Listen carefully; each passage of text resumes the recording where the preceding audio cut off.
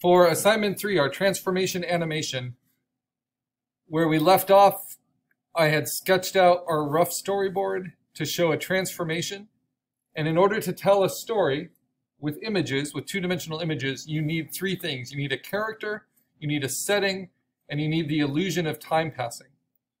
Even if that setting is completely blank, it's something you want to think about and consider because it helps you tell the story.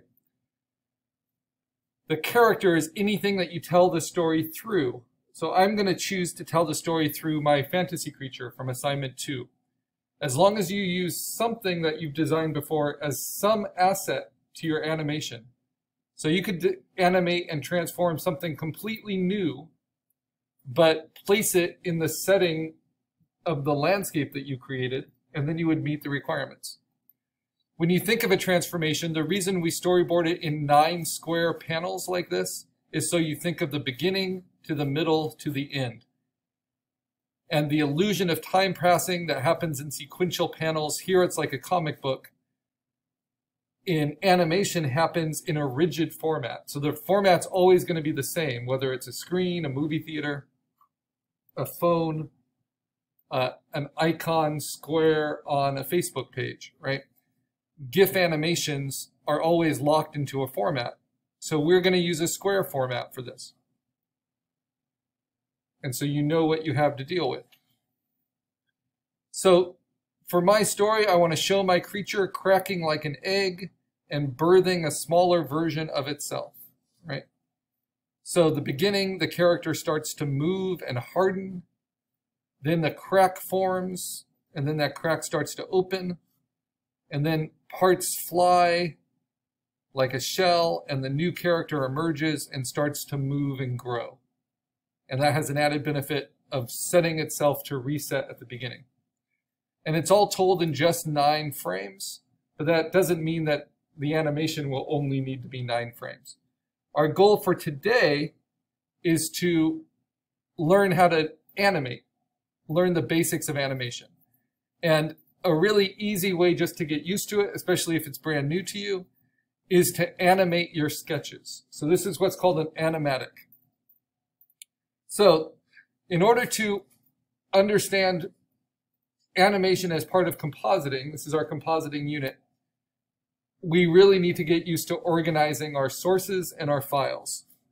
And there's a lot that goes into creating a piece of digital artwork. So the first thing I'm going to do is in my master folder here, my digital art folder. I'm going to create a new folder. I'm going to call it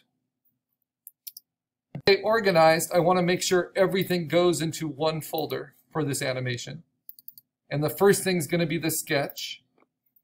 I sketch this digitally, but I also want to make sure I save it. And in order to save and organize with animation, we really always want to know where to find things. So I'm going to recommend this process. When you save something, you're going to save it first to the desktop so you can see it physically on your desktop. And then you're going to move it into your folder. So a nice shortcut for moving things into your sketchbook or into your desktop is to just hit Command D when you're on the Save As screen. Command D will automatically re-navigate to the desktop. I want to save it as a JPEG. It's just my sketch. It's only going to be 500 kilobytes, which is why I'm not certain why Photoshop is taking a while to save these things. But then I can see it. There it is, popped up on my desktop. I can move it right into my folder. So this is my rough storyboard sketch. That's actually something I'm going to turn in. So that's what goes into Canvas, you know, under the assignment. That's the first thing you'll turn in. Hopefully, by the end of today, all of you will have that sketch posted. The next step, if we look at this process, is to figure out how to animate. So to turn our sketches into final frames. And to do that, we're going to set up two folders. One we're going to call, and the second folder we're going to call. So by having two folders, one which is the animation assets, one which is the animation stage. The animation assets is where we're going to build our final frames. Think of it like a puppet stage. Let's say this is Tim Burton's Nightmare Before Christmas.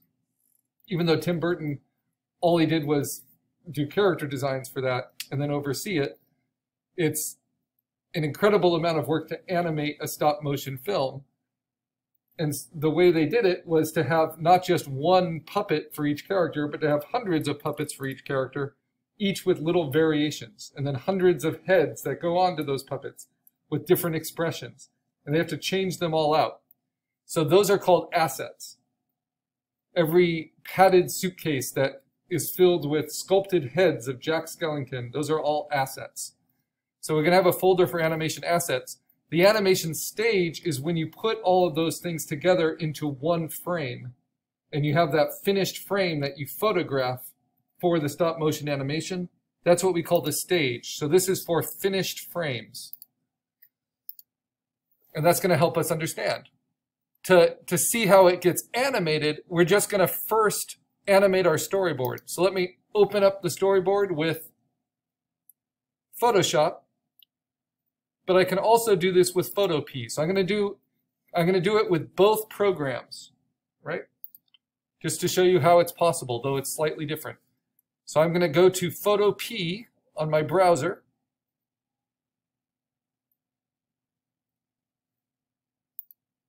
And you can find it under the course links.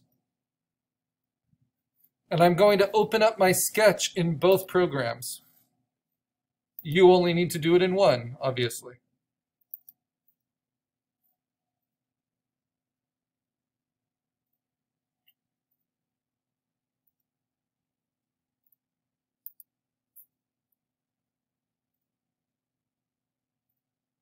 Do do do.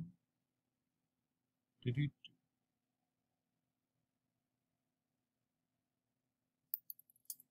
I need theme music for whenever the computer's processing.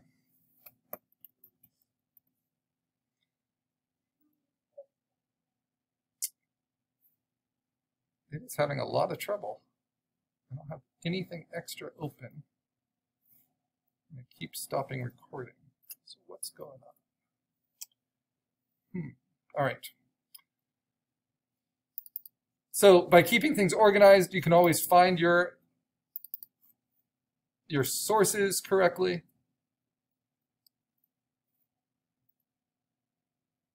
And so I have it open here in Photoshop, and I have it he open here in the browser in Photopea. You can see how similar they are. Let me drag the ads off because I don't need to advertise to you. So the first thing I'm going to do, just to do this rough animation, after the, the files have been saved, and they have, I'm going to crop down to just my sketches. I don't need to keep it at high resolution. Now I'm going to make a square box by using the rectangular marquee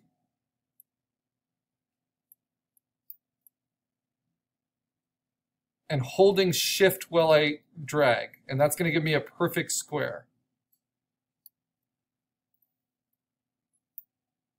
And because I'm on the, the marquee tool, this selection tool, when I click and drag it, it's going to move the selection. It's not going to cut out my work or move my work. Then I'm going to hit Command J and duplicate that first panel onto its own layer. Okay, let me do that all again in Photopea. You'll see how similar it is. First, I'm going to crop down to my sketch, use the crop tool.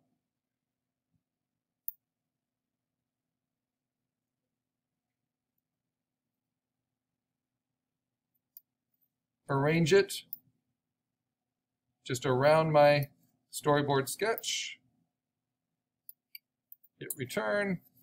Then I'm going to use the marquee tool, and I'm going to hold down shift as I drag, and it will give me a perfect square. And I can move that and hit Command J to isolate it into a perfect square panel. Okay, let's do that with all the frames. So I go back to my background layer and I'm going to find a perfect square by holding down shift while I use the marquee tool and then hit Command J. It's like internal compositing. We're taking source material from our sketch layer. It's going to be rough because all my sketches aren't uniform. It's good to see how an animatic works. So I keep going back to the background. I keep hitting Command J once I've got a, a square around it.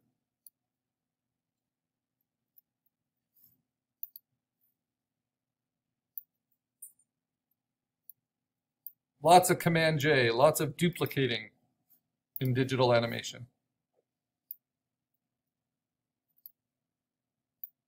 And lots of internal compositing. Because what is the big advantage of digital is it can make perfect copies.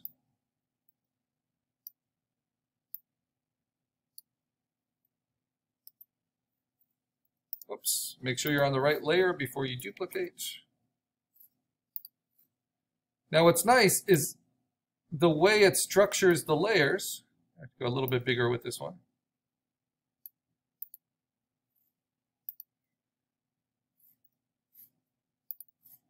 It's numbering them for me as I go.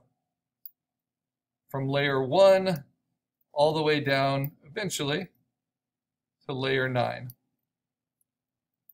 for my 9 frames. So layers are different than animation frames, but we create animation frames with layers.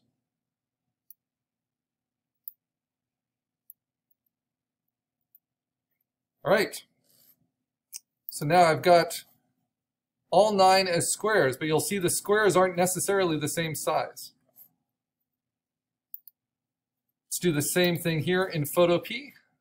I mean, this is a good time to save it. So file, save as. I'm going to call this file my animatic. This is just a rough animated sketch.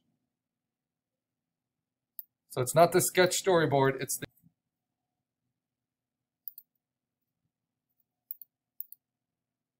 in order to save it just as, actually I want to save it as a, as a Photoshop file.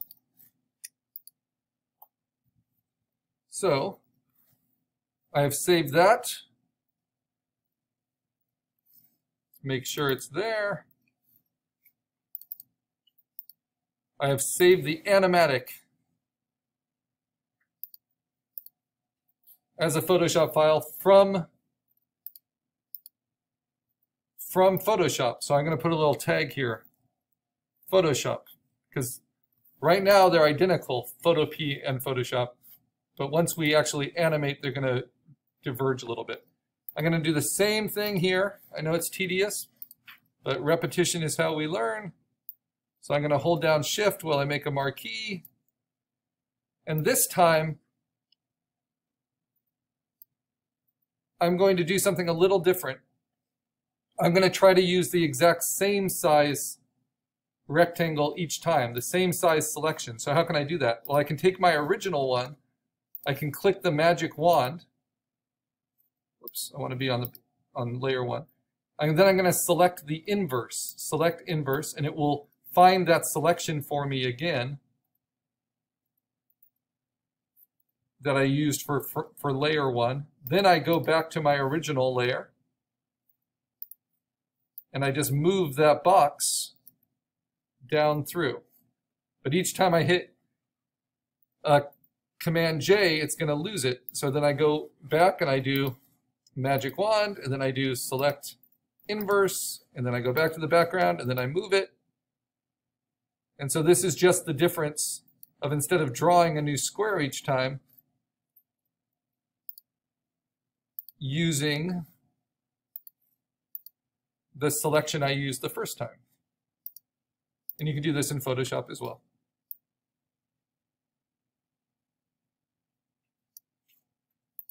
Because one thing that animation needs in order to flow is to be fairly uniform. And that requires a lot of technical control.